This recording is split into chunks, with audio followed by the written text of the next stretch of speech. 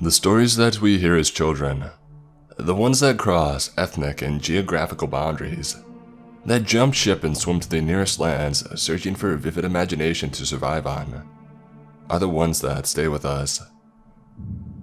They scratch and claw and batter their way to the top, reigning unforgettable in some oft irrelevant corner of our minds. The story of Alice lost in Wonderland, of Pinocchio and his wooden nose, of the Pied Piper and his entrancing melodies. But there is truth to absurdity. A single kernel awaiting a jolt of curiosity fed flames to burst open, to throw away its pale veneer of fiction and bask in the sodden sunlight of reality. And so it was with the story of the Pied Piper of Hamelin. That strange, motley dotted figure that trapezed up to the country of a plague-stricken Germany and rid an entire village of its rats.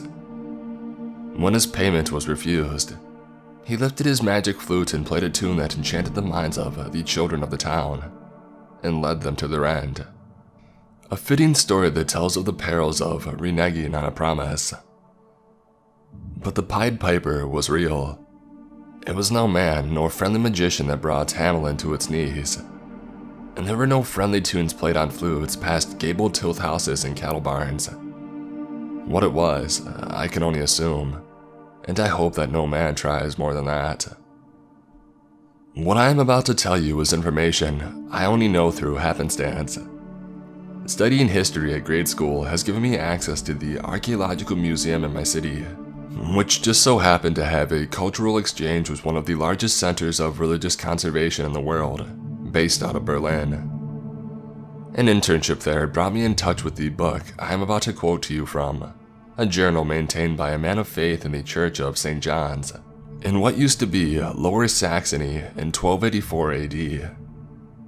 It was a moldy, near illegible mess of rotten, flaky parchment the once vivid emerald green linen that covered the pages was now a dirty, withering rag, with a single word sewn into it in flowery script. Bungelosenstrasse, the street without drums. It was this that caught my attention. A storybook-like title inscribed onto the cover of a church pastor's journal. I decided to take transcriptions of the text, translate it, and look into it further. If there was ever a mistake I had made in academia before, it paled before this one. I will now write down what I read there, skipping over the numerous dronings on virtue, sin, and hope. Father Adam, as he had signed the journal, was a true devout, a man of religious passion tempered with what seemed to be innate human understanding. I am only apologetic for what he had to endure.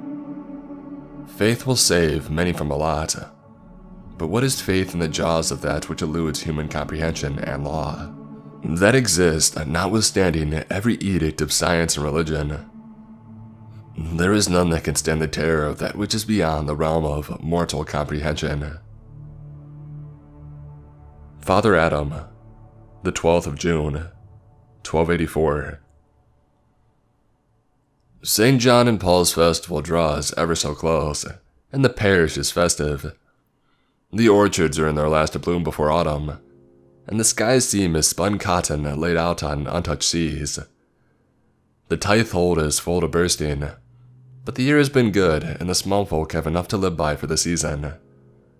Winter will not be kind, but the Lord will watch his flock, and they'll receive his providence as strongly as will the king in his regal robes. The mayor has approached me today for confession, and I will hear him. He bears a great burden, and I hope that I can help him. Edgar and Greta have both sought forgiveness for their elopement, and I can only hope that they find it. The 17th of June, 1284. The skies today are plum colored in the night, like the heavens are bloodied with war.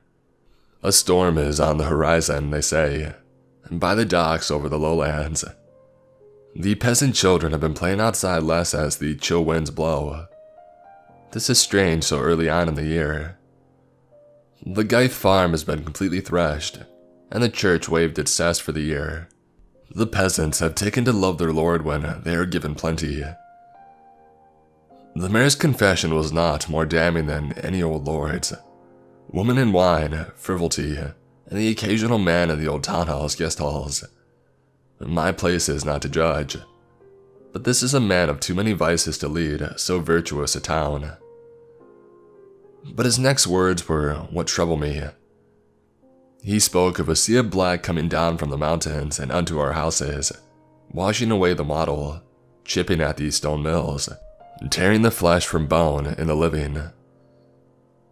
It was a vision in green, father, like watching painting spring to life in polished green stone striated and striped with darker shades of these same dang strokes. I felt as if I was standing before it. Its light was darkness and its shadow was light, and nothing was as it should be. But all through this, that dang sea ate and ate, and there was nothing there but the bones of children and the wood of cherished little houses, standing like skeletons in the dark. He had turned to me, opened the booth door, and sprang out. When I came out of mine, he looked frightened. This is the dream of an overworked mind, son, not a vision of heaven or hell. There is nothing you need to think at length about. The mayor scuttled off after this, and my thoughts since then have been beset with unrest. The 27th of June, 1284. The storm seems to have let up after almost two weeks. There is still rain and thunder rings from ashen skies in the west, but it seems to be lessening. The lady bowed and came down from the keep to see us today. She did not want to give confession, but paid generously into our coffers. Instead, she asked me for advice with one of her dreams. When she told me of it, I admit having to grasp at my hands to stop them suddenly shaking. It bore a venomous resemblance to the mayor's unholy vision. I dreamt of being consumed in a shadow, Father, of being eaten whole from the toes up. There is but grief and despair throughout the land, and a writhing, squirmy mess of whatever it was that feasted on our flesh, and ate of our crops and turned the very soil thick and viscous, and green, an accursed veneer that clung to the shadows like wet silk on the wrist. I told her of the Lord and that it may have been but a vivid imagination roused after stories of war and famine in the heartland. She did not seem satisfied, but bid her farewells and left, her carriage rattling across the rain, lightning framing it by the gray sky. The 13th of July, 1284. The rain has not let up. I have asked for the records of the hall scribes from decades before, and I look through them. No year has seen almost a month of rain in the last half century. Hamelin has prospered on the backs of its farms and the fields are beaten down and overrun, nary able to grow more than a tenth of the wheat they are able to. No one is starving yet, and the tithe vault is yet to be open, but I pray that it stays that way. Heinrich the blacksmith has asked to be baptized again. I will not turn him down, but he's an honest man who lives by the sweat of his brow and I see no need for him to want to turn a new leaf. The 14th of July, 1284. Some strange evil has beset this town. I am not alone in the church, and my ministers live in the quarters on the ground. Yet I shake as I write these. My quill is broken and jagged, and the ink is spilled into my sheets for the night. When I was casting young Heinrich into the basin, he told me that he was glad to get a second life, because the devil had had him in the last. When I pushed him to elaborate, he told me what I wish I would never have to hear again. I have been having these dreams for a month, father. Wicked, wicked dreams. The place is Hamelin, but it is not now. The trees are dead and gray. The blossoms that would litter the streets are dead and dismal. But I am running up those paths, one among a thronging mass of tens of thousands. I am as a beast. I hunger for flesh to feed me and feed my kindred, and I tear apart the children and women before me with my jaws. We are as one, a flood, the very machination of hell itself, and we sought only to devour that accursed green-clad world. I had only barely managed to keep from retching until he and his kin left the pews. The 22nd of July, 1284. The rain is carried on now for two score days. The fields are left to the elements, drowning. The streets are now slush and carriages dare not come this way. The tax collectors sent a word saying they would collect in the province later. The tithe vault has been opened. The lords have taken nine tenths of the grain and left the rest for the peasants. The world has fallen so far in a month. Skies like stone, Oh, how I wish they could part for the sun just once. The 29th of July, 1284. Seven more of the small folk have had these same dreams now. I dare say a lot more have had it too, but are unwilling to step forward and ask for the Lord to help with the nightmare. Every confession I hear makes me want to walk away, from my station, from my parish. It's the same every time. A green tinted dream of a dark sea of pestilence devouring all that we hold dear. I know not to explain this to the Holy Father in my prayer. How can I put into words the horror of this? What do I pray for? That they not dream.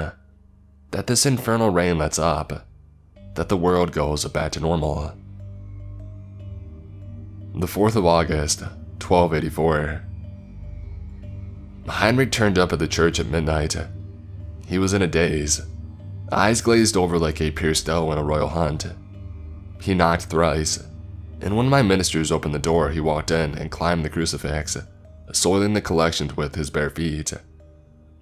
On the stained glass window near the ceiling, he kept a single piece of green stone shaped into something. It was a skillfully crafted sculpture of a throne, on a bed of green carved out to represent undulating waves.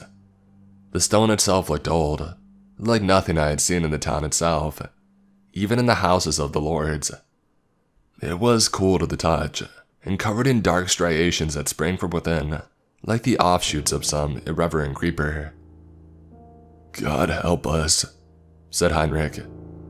We gathered around him, his glazed eyes now furtive, awake, scanning the room. He shivered, drenched and cold. It walks before him, it walks these lands, and it always has. He passed out after this. The town's psychic was awakened and carted him through the slush and sludge, but medicine could not return him to what he had lost. There was no reason or rationale in him anywhere. They were gone as a straw man in a storm. The 9th of August, 1284. The villagers now know of these shared dreams, I do not know who chose to speak of it first, but it has spread like wildfire across the town. The mayor himself has convened a meet of the peoples, and counsel has been sought from the church. The baron has not yet been alerted, but it was only a matter of time. The town hall was a susurrus of whispers, reflective and pensive, bound by the minds of men and the marbled walls. One by one, the small folk told of their dreams, and the mood in the room grew more and more terse. Green worlds, throngs of devilish creatures, a sea that swallowed you and left clanging, clattering bones in its frenzied wake. Twenty people talked, and then fifty, and then a hundred. By sundown, 224 people had confessed to having the same dream. While outside, the rain pattered against the gables and dripped past the red roofing tiles. I could see the mayor's hands shaking as he discussed with his aides. He called me into the circle and asked me about what I thought. Is this devilry, Father? Are we lost from the gates of heaven and left on this earth to be tortured in fitful sleep and waking nightmares? I shook my head. There are God fearing men here, men with wives and families that have never raised a weapon in war or a voice in violence. They are penitent, and there is no more sin in them than in me. I can abide no thought of the demonery of hell afflicting my parish. And I couldn't. What this was, this unholy weather, these accursed dreams were of something else, some woeful creation that man was never meant to truly comprehend. The 20th of August, 1284. Everyone has had this dream but me. Everyone, my ministers, the tailors, farmers, tax collectors, all saved me. I have had to pretend twice that I too have dreamt of the same. I have lied in the house of the Lord, and I know not else that I could have done. Perhaps I am the source of all of this. Perhaps I've displeased him, and this is my punishment, the suffering of my flock. I do not understand it. I wish to get away from here, from the rain and these accursed nightmares. Food has run out almost completely, and bread and water are all that remains. The cattle have been butchered, for they cannot be fed any longer, and the lords have kept the meat for themselves. I've seen two men die of starvation to make sure their families could see the end of the month. At night, if you listen past the din of the downpour, you can hear the cries of a hundred hungry children. The 9th of August, 1284. Forty people have died, mostly men. Their wives and children left in the sludge and muck of the incessant rain. They died from the cold and the wet and the hunger that bites at my bones harder than the cold winds when it flows into my robes. The bread is gone. The dreams have only gotten worse in everyone, and people are frightened to sleep. They are haggard, bedraggled, all in the span of a few months. Several attempts have been made to reach the nearby villages. The mayor sent one of his aides himself with a letter to the Baron begging for aid, but it never reached him. The aide came back a few hours later, confused and hysterical, talking about how he had walked away from the town for half a day, only to find himself suddenly back at its limits like he had never left. The rain made everything beyond the town gates nigh invisible, like shadows behind a thick sheet of silk. I pray now for a quick end, to a servant who has looked over his flock for ever so long. The 17th of August, 1284. Oh, woe is us! He lies in his palace of green. His servants, seven unknown, untold, unfound, unheeded, untamed. Yeskar. Yeskar comes, he heralds the king. He heralds the king. The pantheon rises. The 18th of August, 1284. My mind is no longer my own. What I wrote last day was not of my making, and I cannot recall it. I fear this is our undoing.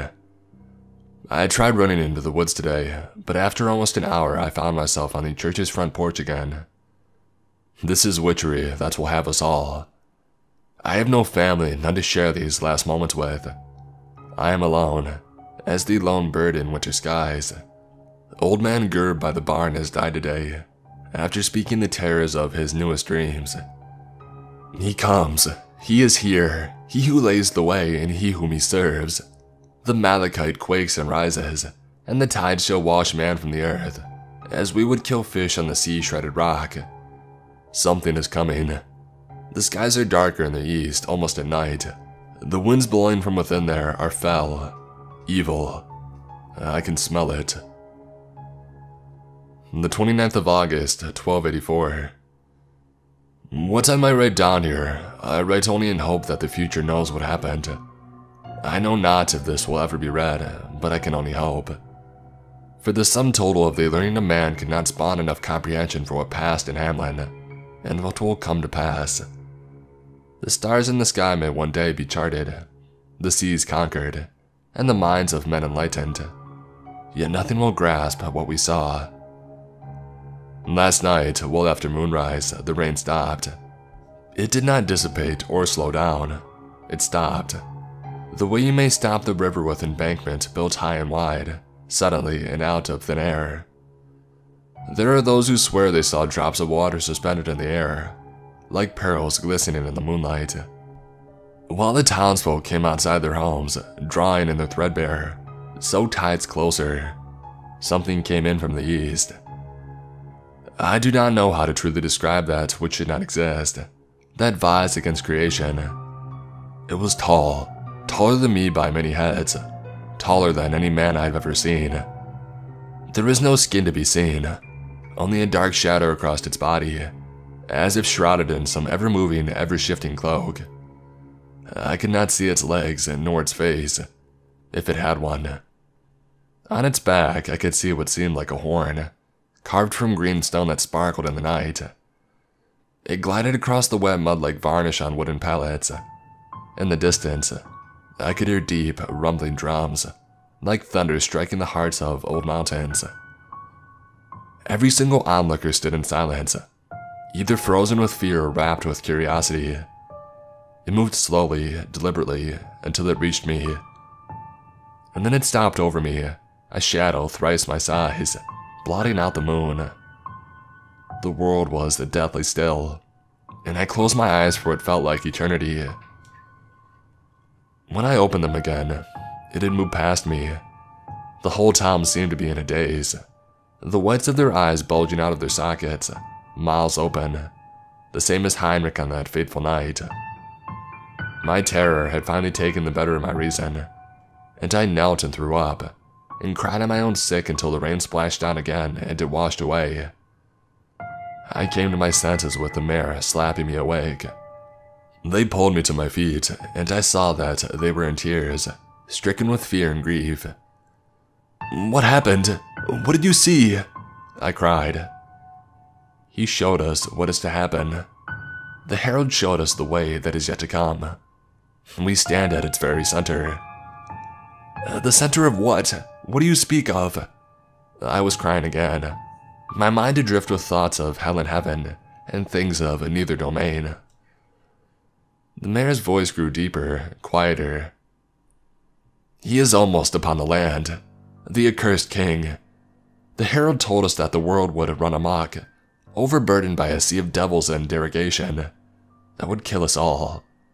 None would stay alive. Not a single Saxon soul would stay alive. Vardiathoet, the accursed king, the accursed king, screamed one of the villagers, and he knelt down and spread the wet mud on his face and neck. He will be the end to us all, unless, unless. The mayor completed his delirious words with a desperate plea in his eyes. Unless we pay his tribute. A mother from the back pushed her way past the mayor. I knew her. She had lost her suckling babe only a week ago and her young son stayed sleeping in her home. Only you can choose whether we should do it, Father. You didn't dream, he said. Only you can make the choice free from knowing the nightmare that might follow if you choose wrong. Those were his words. But what does he want? What does he want, this cursed thing? I cried out, wringing my hands in despair. Our future, she said, her voice like cold forged iron and with that, I knew what tribute was needed. I wanted to run again, past the woods, past the old oak, and into the bear pits, to end myself, to end my fear and my deepest horrors, but I simply couldn't bring myself to. I looked at them, mothers, fathers, distraught, devastated, changed forever, yet aware of what was to be done. They said that I have to decide on my own, if any of them were to aid me, nothing would change.